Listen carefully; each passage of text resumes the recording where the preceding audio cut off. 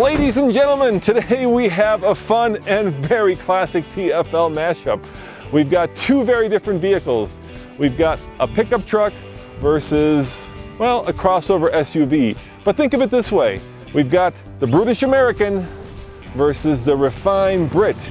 And which one of these two is going to have an easier time going up Cliffhanger 2.0? Well, only one way to find out, and that is coming up right now on the Fast Lane Truck.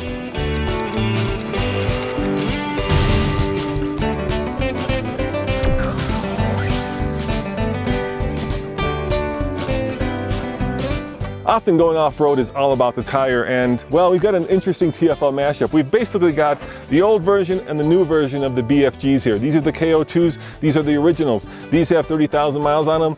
These have, well, they look like they're brand new. So, point Range Rover, at least in terms of which one has better tires. But you know what? I think we're gonna air down both vehicles to give us a little bit more grip. So I'm gonna air these down to about 18 PSI. You could go lower, but if you go too low, you risk popping the bead. Um, the other problem is, of course, you lose ground clearance the lower you go because the tire gets flatter. But the upside is you get a lot more grip and uh, actually a cushier ride. I felt really bad this winter when I got that Range Rover Sport stuck, so I wanted to show what it can do with a proper set of tires. In fact, they're more proper than the Raptors. The Raptor has 37,000 miles on these KOs, and that's a lot of miles for a set of very off-road worthy tires. Now there's a lot of other differences too. Obviously I've got a mechanically rock, locking rear diff, which means it's always locked. Um, and I have a solid rear axle, which is better for off-roading, I believe, because it means I'm not going to get as much wheel air time, hang time, let's call it, as an independent suspension might do. Now, believe it or not, that Range Rover actually has a lot more horsepower than this American V8. But that's not what counts. It's about torque and about the all-wheel drive system, or in this case, the four-wheel drive system, a classic American four-wheel drive pickup. In other words, a transfer case that takes all that torque of this V8 and delivers it to the wheels, plus a solid rear axle, which means that the rear tires stay on the ground, and of course, a locking rear diff. Uh, there are disadvantages. The Raptor's a lot longer, so the uh, approach angle is probably similar, but the breakover angle, you know, the angle at which it teeter-totters is a lot lower, so it can potentially get hung up a little bit more. But I do have more underbody cladding, which is good.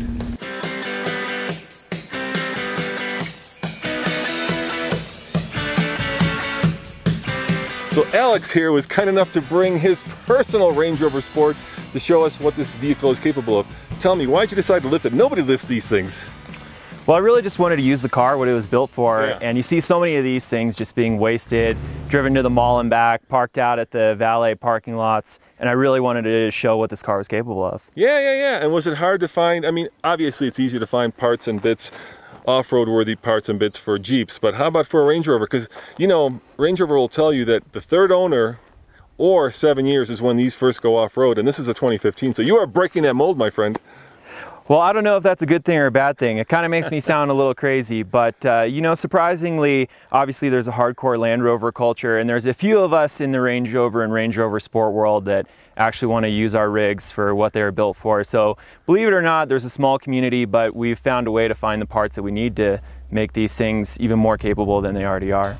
And then we can also put it into sand mode, or especially today, if things start getting hairy, we'll put it into rock crawl mode. The other cool thing is right here, it shows you that the center differential right there is locked and the rear differential is open right now. And this will be dynamic. This will change based on the conditions of the trail. Yeah, and you know, it wasn't fair. We got the other one stuck. It had the tires that it came with. It wasn't fair to the vehicle. So I'm, I'm really grateful you brought this to actually show our viewers what these can do. Are you at all nervous about the cliffhanger, seeing it for the first time? Not at all. I've seen what this car is capable of with stock tires and stock suspension. So I'm really looking forward to see how it does with a couple extra goodies on it. All right, so if you hear like uh, like scary crunching and metal on rock, that's not going to bother you. All right, touche. you, you got me on that one. The only thing that scares me here is crunching and scraping. But at the end of the day, uh, hopefully the bigger tires and extra clearance will come in handy. Yeah, I mean, we did the math, right? And that one has what you think about 11, almost 12 inches. Actually, probably between 12 and 13 inches of ground clearance, which you can't quite tell here because of the angle that we're parked at. But uh, yeah, it's got a fair amount of clearance. Yeah, you've got three inches on me. Mm.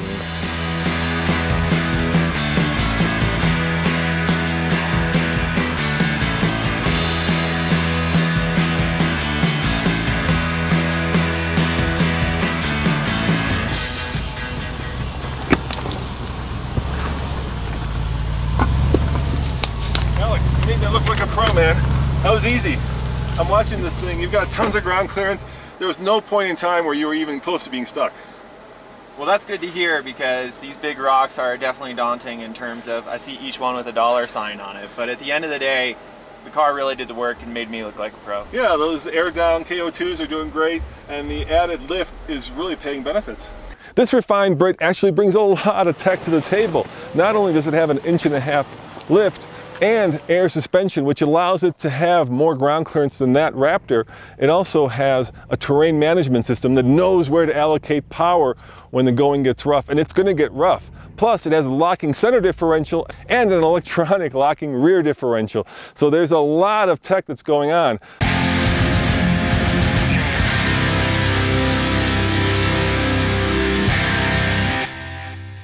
So we've come to a fork in the road and the left side's a little bit harder, but the right side is just as hard. And it's hard to show just how steep this is, but even walking this hill is very difficult. Loose rocks, loose dirt, very steep.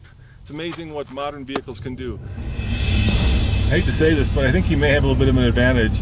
At uh, two or three inches of extra ground clearance is huge. Oh, he's struggling a little bit too. There you go. Keep a little momentum up. You're gonna need momentum.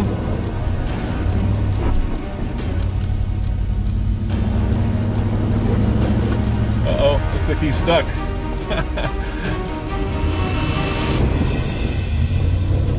there he goes. There we go. There we go. Use momentum. Oh, heading to the rock. Come on, get momentum. There we go. There we go. There we go.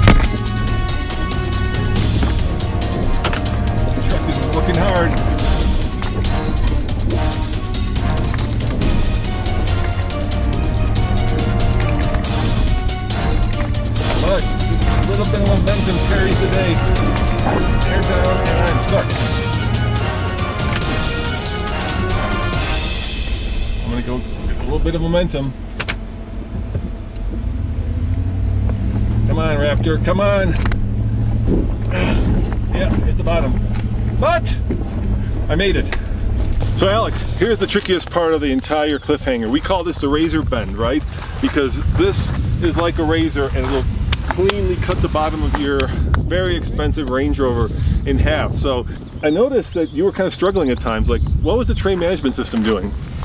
I think the terrain management is extremely active and uh, you know the, the biggest struggle for me was finding figuring out how to work with the terrain management. It's really a system that wants you to work with it and there's a couple of tricks to it. So many times where it felt like you were stuck it was cutting fuel and whatnot and so it was really about letting off the gas and giving it another try and then it would keep moving forward. But uh, so, so you felt like it was trying to do stuff that you didn't want it to do in some ways right? It would cut power and you were like hey go and you yeah, yeah, absolutely. And so I think right now, this is my first time doing hardcore off-roading in the car. Yeah. And so right now, this is just as much about figuring out how to get up this trail as it is about figuring out how to work with my car. But with some time, I think she and I will figure out how to work with each other. all right, let's, let's go up the uh, razor bend and just be careful, all right? So really it's about taking the right line and just being smooth and steady, keeping on the power and letting the truck do the work. My fingers out of the steering wheel, just in case. Here's a razor bend. Come on, Raptor, yes! No metal on rock. And that is the right line. I hope that uh, Alex has similar luck with his Range Rover.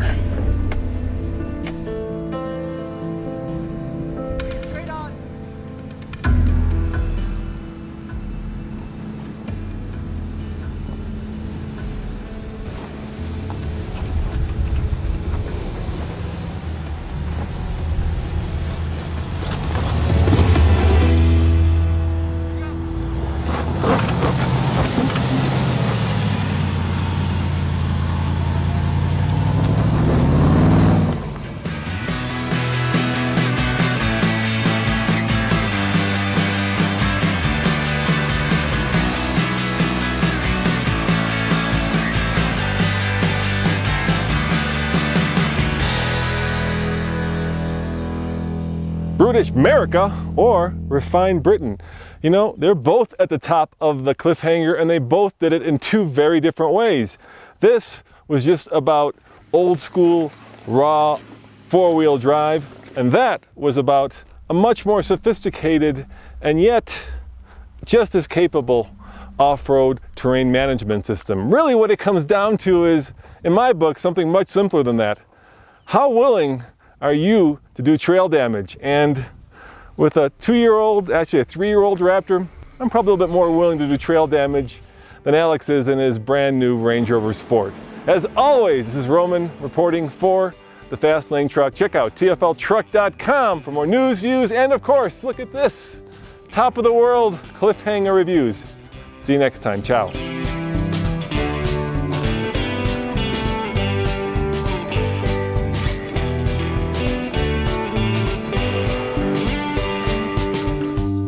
Welcome to about two miles above sea level, high in the Rocky Mountains of Colorado, and this is Cliffhanger 2.0, TFL's new test of ultimate off-road worthiness. Why is it so hard? Well, look at it for yourselves. It's steep, it's deep, it's loose, and it's rocky. And we're gonna take some of the most off-road vehicles we can get our hands on up the cliffhanger to see how capable they are. Check it out for yourself.